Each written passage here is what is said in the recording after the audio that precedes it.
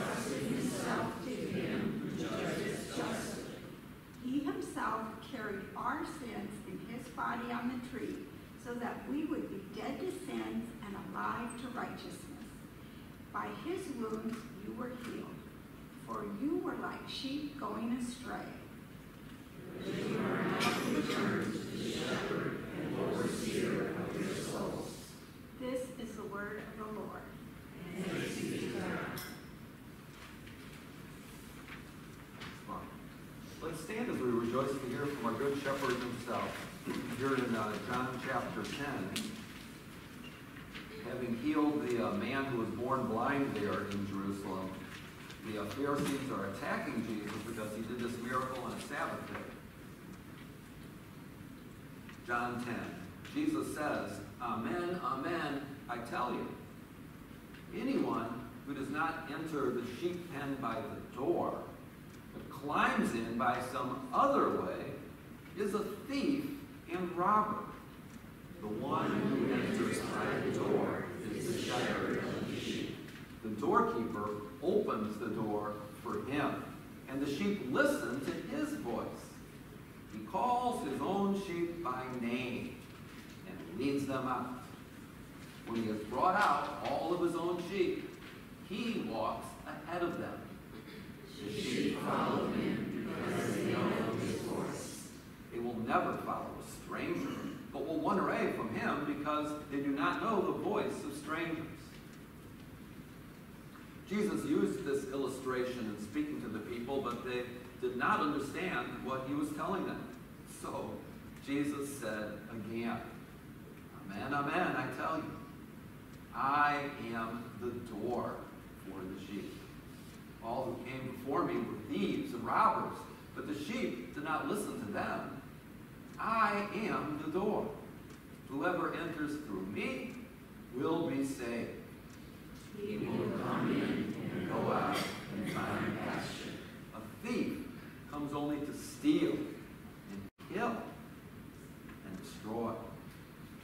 I came that they may have life and have it abundantly.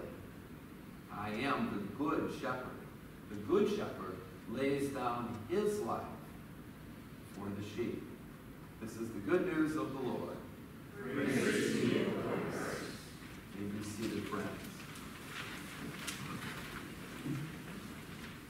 So I don't know, does uh, anything seem amiss in this picture of you? Somebody laughed. I was just looking for uh, good shepherd images, and this one popped up, and just it just made me uh, it made me laugh. This poor guy's kind of a little out of space, out of place, isn't he? So, you know, Jesus gives us other nicknames. Like I remember the time he said, uh, you know, be wise as serpents, but innocent as doves. I remember that one. But uh, the main picture of Jesus for his people is something that's already continued from the Old Testament. I mean, Jesus calls us sheep. That would not be my first choice. How about you? this poor guy just looks like out of place, doesn't he? What is it like to be a sheep in this world? Maybe he's excited, exploring a big city. Maybe he's afraid, you know, what's going on here? Maybe he's lonely. This sheep doesn't have a flock with him. So we're just going to explore uh, this, this beautiful image and what Jesus is teaching us by calling himself the shepherd and us the sheep this morning. And Jesus actually gives us uh, three or four pictures here in, in just these uh, 11 verses. We got to imagine a little bit um, what it was like a couple thousand years ago and before that for a sheep and a shepherd. The first picture he suggests is something like this. What's going on here? See, It's kind of hard to see, isn't it? The thief is jumping over the fence. Yeah, there is a bad guy here, right? This, this is not a happy picture for a sheep. In the dark, somebody is coming over a wall. So here's where Jesus starts with us. Amen, amen, or in plain English, truly, truly. Uh, says it twice to nail it down. This is important. I tell you, you may have had other, other things, but listen to my voice. Jesus uses this phrase, but he's really pointing our, uh, you know, our sheepy attention at something significant. Amen, amen, I tell you, anyone who's not into the sheep pen by the door, oh, there's the first thing we got to know that. So this is a sheep pen. There is some enclosure in which the sheep are intended to be kept safe overnight. Anyone who does not enter the sheep pen by the door but climbs in by some other way, why are they doing that? Why don't they just come through the door? They can't get in that way. There's somebody guarding the door. And they're sneaky. they're coming not to do good but evil. Climb in some other way. This one is a thief and a robber. So Jesus then goes on to another picture. And now we see the door in the sheep pen. And who's the next guy that Jesus is going to introduce us to? Who's this guy? Remember what we just read a minute ago? He's called the doorkeeper. So I want you to notice this already in the story here. We've got sheep in an enclosure. We've got somebody that's hired to be their shepherd. We've got somebody else that's hired to keep the sheep safe at night inside this pen, a doorkeeper. Which kind of suggests there's a third person in the story who isn't mentioned, and I'm really pushing it here, but I think it's really interesting. Because every time I see this guy and that guy, and I think about the third guy who owns the sheep, I got a three going here. So, what we don't realize, not knowing all the background of the story, it was not that uncommon back in Jesus' day that whether it was a larger city or a, or a smaller village, there would probably be some wealthy person who owned a lot of sheep. I mean, so many that was more than he was taking care of, and he would have his home and around that an enclosure where the sheep could be kept safe at night. And then in the morning, various shepherds could come and call out their part of the flock and take care of them for the day until at nighttime they could bring their sheep back and then they could go home and rest with their families, right? So, old sheep stuff, who cares? But Jesus is saying, oh, by the way, this is you. You're the sheep. So, we kind of know how this starts. If this is a story that applies to us, who's this guy? Who's the shepherd? For you me.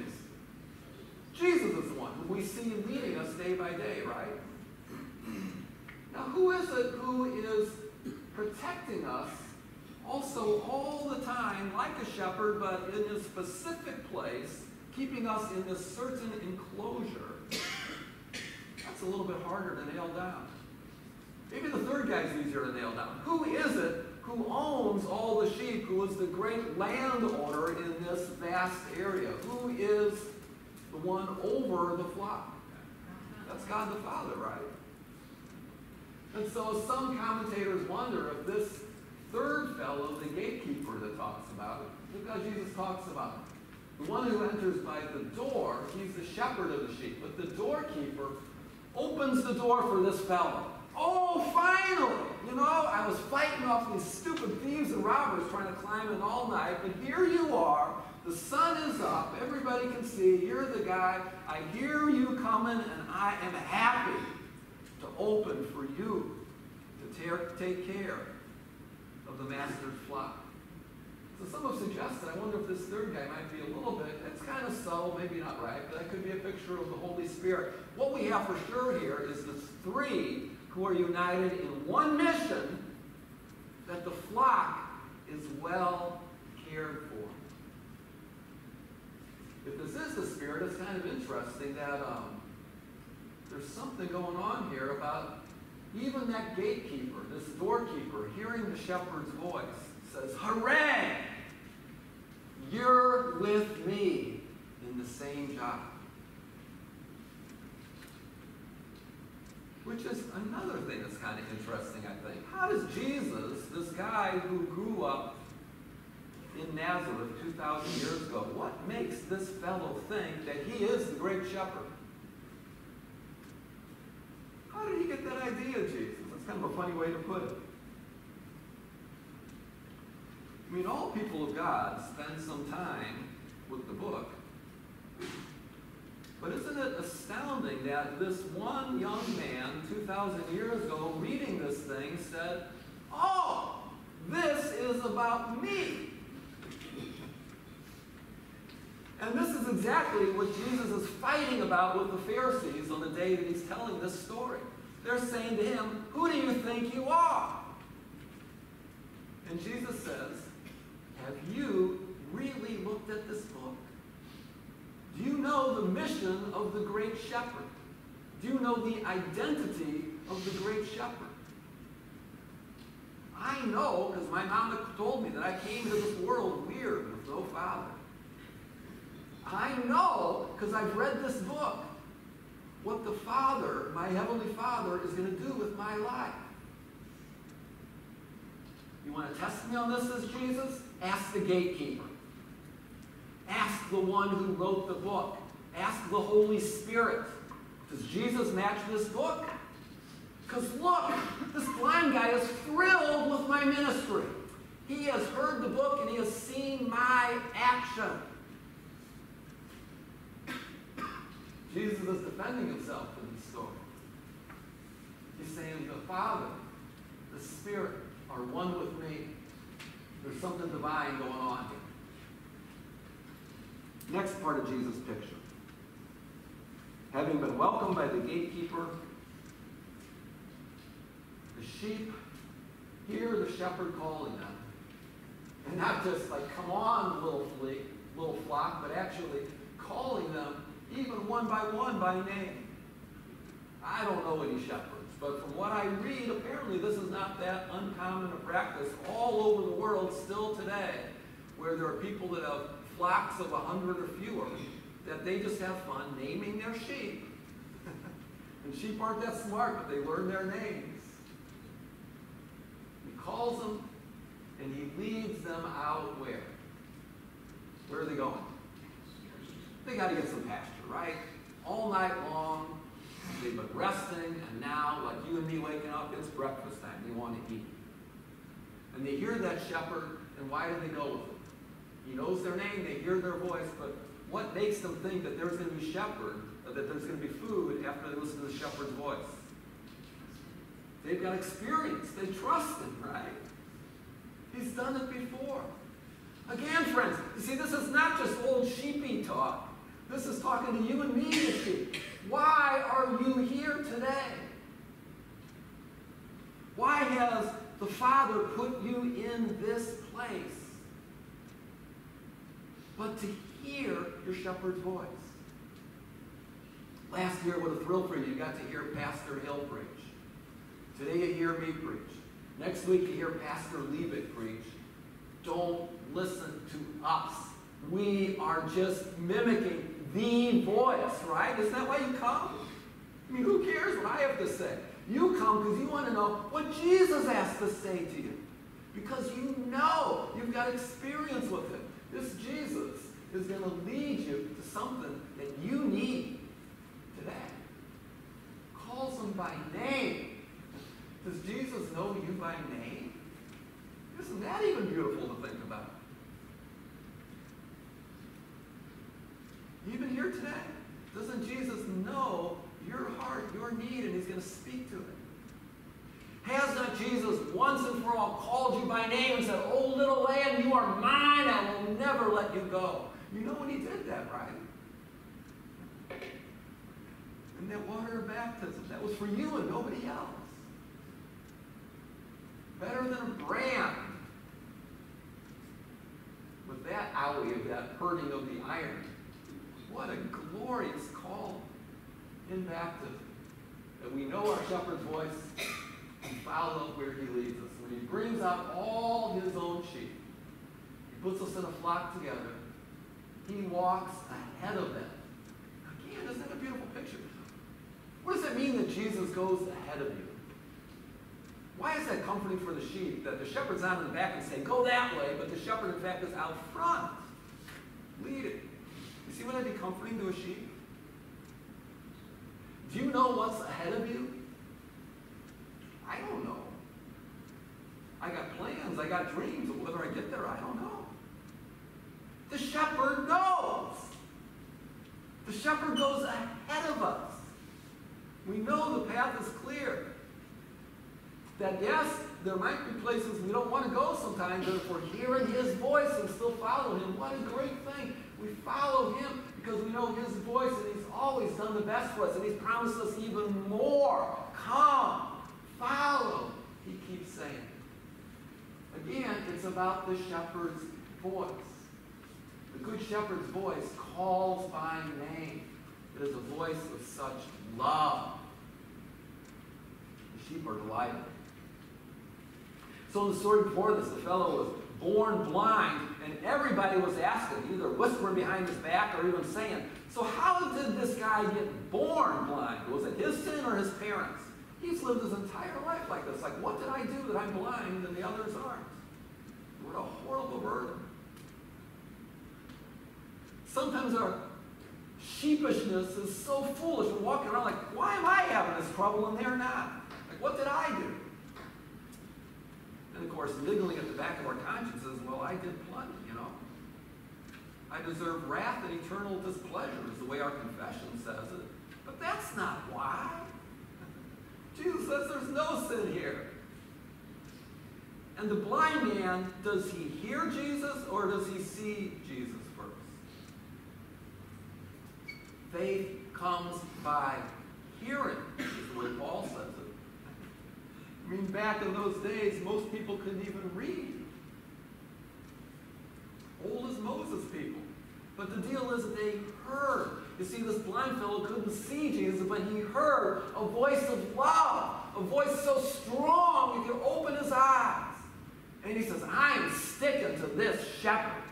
And everybody else said, well, he can't really be the Messiah. He did a miracle on the day of rest. and Jesus just laughs. This good to give a man sight? Can't we rest in God's work for us? Jesus finds that fellow and says to him in the verses just before this text, he says, Do you believe in the Son of Man? Jesus finds the guy who's been tossed out of the synagogue. His family is abandoned. He's got nobody in the world, he thinks. And Jesus tracks him down and says, You believe in the Son of Man? And the fellow says, Oh, I would believe if only I could know who he was, if only I could see him. And Jesus says, Ah, you have heard him, and now you are looking at him, guy who used to be blind. Wondrous. Hear his voice, friends. We have not seen him yet, have we? But isn't your ear hanging on? Come on, Jesus, talk to me. Let me know you're lost.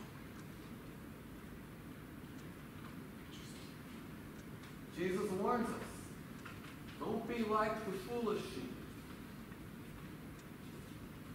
Don't go following after strangers. Run away from those lies. Those who tell you, you broke it, you got to fix it. But you can't. Those who tell you, even your own conscience tell you, you did wrong. What does the right God want to have to do with you? Everything. He knows we're saved. He loves us. Don't listen to the false voices that say, you got to be a lion in the world. You got to take charge. Fly like an eagle. Sounds great, but you're talking to a sheep. Like, really? That's going to happen? What a delight to know who we are, because then we know who we belong to. Don't listen to those alien voices. They're thieves. They're taking you for themselves. They're robbers, going to strip you of everything that matters. Because the thief comes only to steal and kill and destroy. And I like that line because I want to flip that right over. If that's what the thief does, what does the good shepherd do? Instead of stealing, what does he do? Did Jesus come to take your stuff? Jesus came to give you his stuff. Oh my gosh, the stuff he has. What are you stressed out about? The little stuff you're going to lose. We can't hang on to anything. Sheep don't even, sheep don't even have fingers. They got hooves, right? What can you hold on to in this world? Jesus, hang on by your ear. He's got everything, he's determined to give it to you. The thief comes to steal, but Jesus comes to give. The thief comes to kill, and what does Jesus come to do? Take up your cross and follow me. Sometimes he says stuff to blow my mind. I don't want a cross. What are you talking about? I tell you what. Sometimes he does lead us through that hard place, a valley even shadowed by death. To make this clear, whether you want to follow the shepherd or whether you don't want to follow the shepherd, the same thing is going to happen to you eventually. You are going to die. So here's the question. When you die, do you want to follow the shepherd or do you want to try to figure your own way out? I know a guy that got through death. I know a guy that promises to get you and me through death. I'm not going to be afraid. Oh, yeah, I get afraid, but I don't have to. I will fear no evil, for you, Jesus, are with me. Your rod. It's a, it's a billy club to beat back the enemy, to stop the foolishness. But even more than that, your staff, this gentle, long stick to nudge the sheep back into place with the crook on the end, so even if the sheep falls off the, the path, and pull them back in and bring them close and heal them up. So gentle, so strong, but so gentle. Oh my goodness, your rod and your staff, what a comfort to me. Fear not the enemies, just stay away from them. Focus on the shepherd. So this is the final picture that Jesus gives us here. This isn't even an Old Palestine. This is in England. You'll find these all over the world. This is not the grand sheep pen around the master's villa. This is a very primitive, rustic sheep pen in the middle of where? Feeding grounds. So here's the deal. Jesus has let out his sheep, the shepherd, and they go out to eat. And yet if you've ever watched sheep, and I did get to watch them in England, they're not eating all day. Probably more than half the time. That's right, Eric. They're just, they're passed out doing what? They're actually not sleeping. One part of the sheep is always moving. His jaw, his jaw keeps going. That's right. And their stomachs. They're, they're ruminants, right? Yep. So they got to eat that grass, but it's not easy to digest grass. They eat it, chew it up, swallow it, and burp, burp it up, and they got to chew it again like a cow, right? so what they are doing most of the day is they're half passed out, lollygagging around, ruminating. Isn't that an amazing picture of you and me? You see, Jesus feeds me through the ear. I hear his voice. And sometimes, boom, it hits me right on the heart. Or sometimes, what? It hits me in the head and I go, what? And then I got to come here in the little safe place and I got to ruminate on it. I got to chew on Jesus' words a little bit, you know? Think on it, meditate, inwardly digest the beautiful promises of our Lord. So you'll find these all over any land where they've got sheep, because sometimes the sheep are getting frisky and they got energy and they got to go out and run around and eat their grass, but then pretty quick they get tired and they're just going to pass out, and you can't have them pass out all over the field. You bring them back into a safe place where you can more easily take care of them, guard them from the enemies. So here's the weird thing Jesus says, ah, Amen, amen, ah, I tell you, when he starts again, he says, I am the door for the sheep. I thought he was talking about shepherds. Now he's talking about doors. And most Bible scholars look at this and they say, well, duh, that's the same thing. How can a shepherd be a door? So here's one guy trying to draw the picture. See the shepherd? No bad guy is getting in without dealing with the shepherd. You'll even see him climbing over the wall. But more importantly, no sheep is going to get lost. Away from the flock, easily picked off one by one. Because the shepherd, he knows where to rest himself. Becomes the door for the sheep. Amen. I am the door for the sheep. Whoever enters through me will be saved, will be saved. Each will come in and go out. That's what they're doing all day long. Eating, resting, and chewing. Eating, resting, and chewing. Living life out there in the world. Running around and then also coming back to chew it over. What's going on in my life? How is the Lord leading me? I came that they may have life and have it abundantly.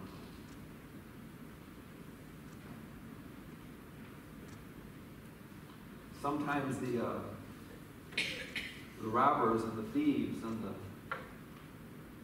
the wolves and the foxes out there say, "Oh, you stupid Christians, stuck with this Jesus, always hanging on his words, not listening to all the other wonderful stories that are told.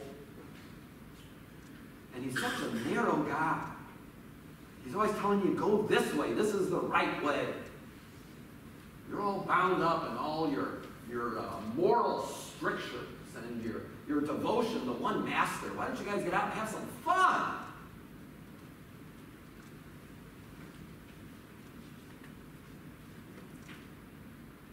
And Jesus reminds us, sheepy people, you want an abundant life? Hang on to the giver of life. You can explore this beautiful world. You can enjoy the many, many wonderful things that God has opened up into you. But playing with evil, it's going to kill you. You want life? Listen to me. The shepherd is not trying to wreck it for his sheep, he's trying to protect them. But I don't like some of the hard places you lead me, Jesus. I don't always like what you're teaching me right away sometimes. I know, he says. It'll come clear. Hang on. Just make sure it's my voice you're listening to. Check it. Don't believe anybody else. Check it for yourself. And live abundantly. Because the Good Shepherd's voice is the only voice that can give you life that nothing can take away. He has that power. Because you see, this Jesus isn't just talking it, he does it. His last line here I am that good shepherd, the good shepherd. Doesn't just talk about life, he gives his own life with such love, such sacrifice, fearlessly. Because he is the divine one And we can even take that life back again. That the sheep follow him through to where he has gone. Amen. Let's, uh, let's pray together the words on the screen. O good shepherd, may your flocks know your good voice. Your voice is divine, your voice is love and power. May me hear you clearly, love you dearly, follow you evermore dear. Amen. We have uh, more prayers on the back of our bulletin asking you to remember these folks through the week.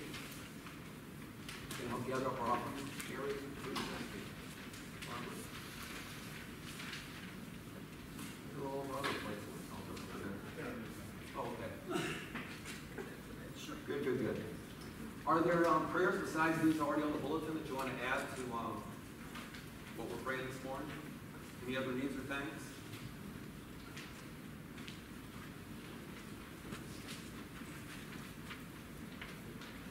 I think you heard last weekend that the uh, Lord called uh, Walt Naughton home Saturday a week ago.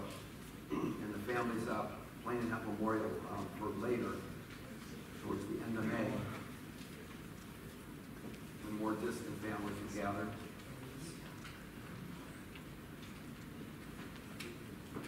Okay, I'm going to invite you to stand. First, we're going to speak our, uh, our faith here with the Apostles' Creed, and then we're going to um, our prayers and receiving the Lord's gift in the supper. Let's speak our faith with a good shepherd. I believe in God, the Father Almighty, maker of heaven and earth, and in Jesus Christ, his only Son, our Lord, who was conceived by the Holy Spirit, born of the Virgin Mary, suffered under Pontius Pilate, was crucified, died, and was buried. He descended into hell. The third day he rose again from the dead. He ascended into heaven and sits at the right hand of God, the Father Almighty. From thence he will come to judge the living and the dead. I believe in the Holy Spirit, the holy Christian church, the communion of saints, the forgiveness of sins, the resurrection of the body, and the life everlasting. Amen. Lord Jesus, you're the great shepherd of your sheep. We praise you for your coming to care for us and for all your people. The great flock of your church. We thank you that not only bless for us, but for all you laid down your life. A divine life. A life filled with love, never slipping or sliding away from the Father's heart a life infused with the Spirit's own power, faithful to the Word. You are the Word. Speak your word, Jesus. Let us hear your voice clearly, that we may rejoice to follow you nearly. Lord, in your mercy. We pray not only for ourselves, but as you do for all those who have wandered and gone astray caught in the grip of the enemy, demonic, fooled by the foolishness of their own twisted thinking and hearts.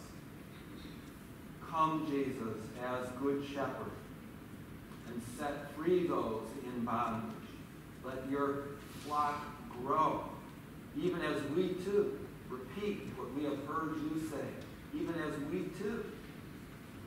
Sometimes it hurts to do so sacrificially, give of ourselves and of our treasures, gifts from your hand to serve the needs of those around us. Let your works in this world flourish, Lord, that your kingdom may grow.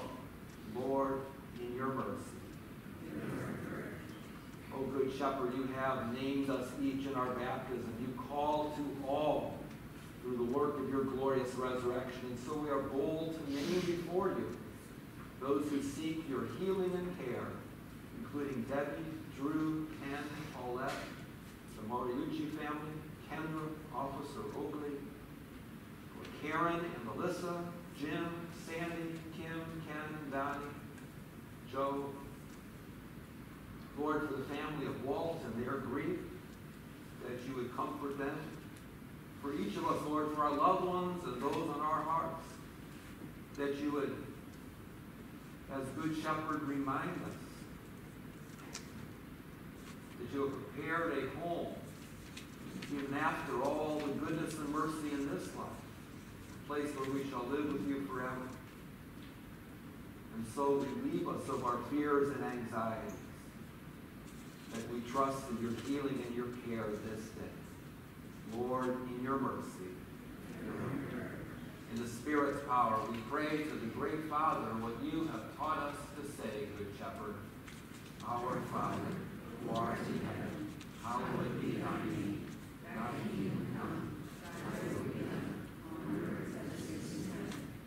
Give us this day our daily bread, and forgive us our trespasses, as we forgive those who trespass against us. And lead us not into temptation, but deliver us from evil. For thine is the kingdom, the power, and the glory, forever and ever.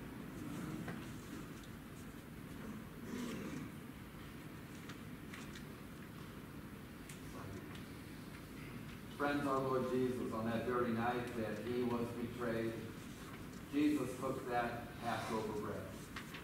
And when he had thanked his heavenly Father, he broke the bread and he gave it to his disciples, saying, Take and eat, this is my body, this given for you. Do this as often as you eat remembering me. In the same way, Jesus took the cup after the Seder supper, and when he had given thanks, he gave that to them, saying, Drink from this, all of you. This cup is the Testament, the promise in my blood shed for you, the forgiveness of your sin. Do this as often as you drink in remembrance of me. Pray. O Christ, the Lamb of God, You take away the sin of the world, have mercy upon us. O Christ, gentle Lamb God sent, you take away the sin of the world, have mercy upon us. O Christ, the sacrificed Lamb who is God, you take away the sin of the world, grant us peace. May we see the uh, band and our leaders commune, and then every time a group here stands up to go, it's time for the next group to come and uh, receive the Lord's uh, cup and the gift of his hand.